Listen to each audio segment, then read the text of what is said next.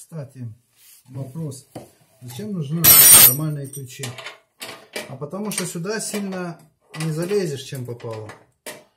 Вот ключи с трещоткой. Вот.